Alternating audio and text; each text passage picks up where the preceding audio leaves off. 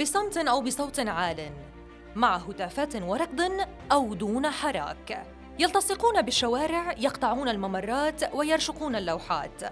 هم نشطاء المناخ كابوس رجال الشرطة. يكفي أن تكتب كلمتي نشطاء المناخ في محرك بحث جوجل ليأتيك الرد مصحوباً بكلمة الشرطة. لا فرق أي شرطة أمريكية، فرنسية أم ألمانية وبريطانية. فجميعهم يرون نشطاء المناخ بعيون الحذر والخوف. الجيل الأخير لواء المتمردين الأحمر وغيرها من الأسماء الغريبة التي تشبه تصرفاتهم في معظم الأحيان خاصة عندما يتسللون إلى المعارض ويفجرون المفاجآت. تماماً مثل ما فعل مئة ناشط بيئي اقتحموا معرضاً لبيع الطائرات الخاصة في جنيف وربطوا أنفسهم بسلاسل في ممرات الطائرات من أجل منع المشترين المحتملين من الدخول.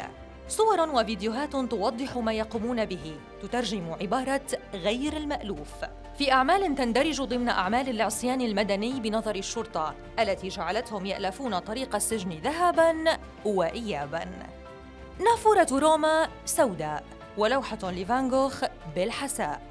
وما لم تراه من قبل في الاعتداءات المتكررة لنشطاء البيئة والمناخ والتي ارتفعت وتيرتها في الآونة الأخيرة بزعم الدفاع عن الكوكب كما يقولون.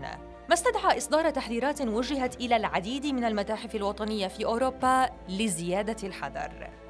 الأمر لم يقتصر على تحذيرات المتاحف. ففي ألمانيا نفذت الشرطة عملية واسعة ضد حركة الجيل الأخير المتهمة بأعمال تخريب في خط أنابيب النفط تريستي إنجلوشتات وجمدت حسابات وأموال قيل إنها تجمع للقيام بأعمال غير قانونية. صراع يدعي الطرف الأول فيه أنه يدافع عن الكوكب والبيئة بينما يرى الطرف الثاني أنه يطبق القانون ويحمي الممتلكات. وما بين الأول والثاني تضيع الحلول في غمرة الكلام الكثير حول حماية الكوكب.